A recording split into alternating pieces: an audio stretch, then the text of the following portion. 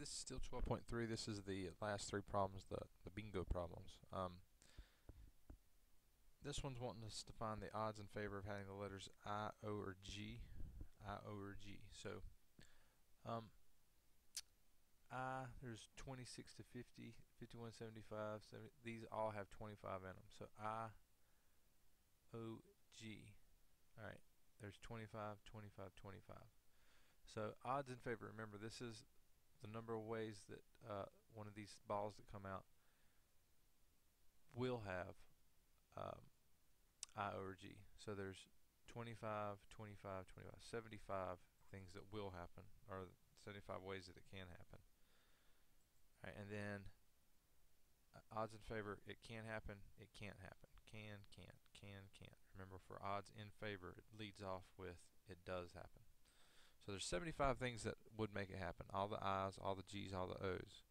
And then how many things won't make it happen? Well, that would just be the B's and the N's. So there's 25 here, 25 more here, so that's 50. Alright, simplify your answer. So what does 75 and 50 have in common? They have 25 in common. So that ends up being 3 to 2. Alright, now notice the simplified version of this. Because B, I, N, G, and O all have 25 in them. They all have the same amount in them. What this basically boils down to is I, O, G, there's three. I, O, and G.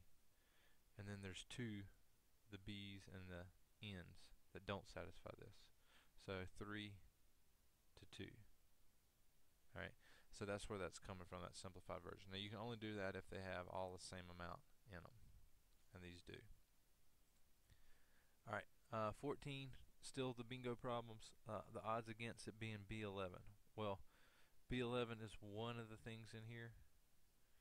So there are 125 balls in here. So remember, odds against, we lead off with it's not a B11. How many ways is there for it to not be B11? Well, there's 125 balls. There's one B11. There's 124 that are not B11. And then there's just the one that is a B11.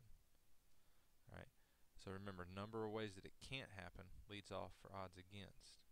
Number of ways it can is the second thing for odds against.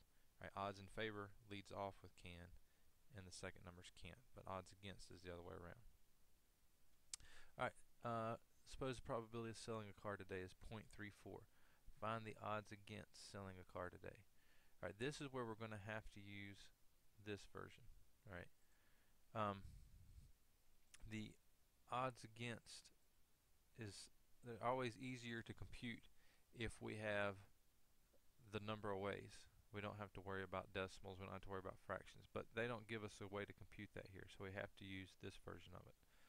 Alright, so the probability that we do sell a car is 0.34. The odds against selling a car are going to be 0.34 down here on the bottom. That's the probability that it does happen, that we do sell a car and this will be the probability we don't sell the car.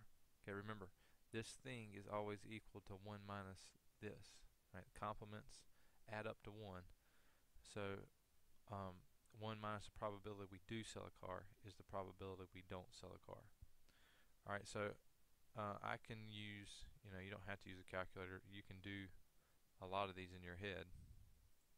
But if I wanted to compute the probability that I do sell a car, or don't sell a car from the probability I do, I just subtract that from 1. Right? So this is the probability that I uh, don't sell a car. So that's 0.66 to 0.34 and remember we simplify our answer. We want a ratio of the colon. 0.66, 0.34 when we write a ratio ratios don't have decimals in it. So the very first thing we're going to do is change these decimals to whole numbers by moving that decimal point two places in it in both. So instead of 0.66, 0.34, we're going to start off 66 and 34. Okay, but then notice that these things have numbers in common. Right, uh, both of them are even. So 66 divided by 2 is 33. 34 divided by 2 is 17. So we're going to have 33 to 17 odds against. Alright, they don't have anything in common, so that's our simplified answer. So remember, no decimal points whenever you're doing this. Now, if you have a TI calculator, you could have put in 0.66 divided by the 0.34 like we started off with. Hit the enter button, right, and then press the math back into a fraction and it'll uh, basically give you that ratio in whole number form, simplified form there, right? The only thing is your your calculator will give it to you as a fraction. You just have to replace that division bar with that colon, right? But that end of fraction feature, which is under the math button, right? That'll simplify any fraction or any ratio that you give the calculator, even if you give it in decimal form like we did in this problem.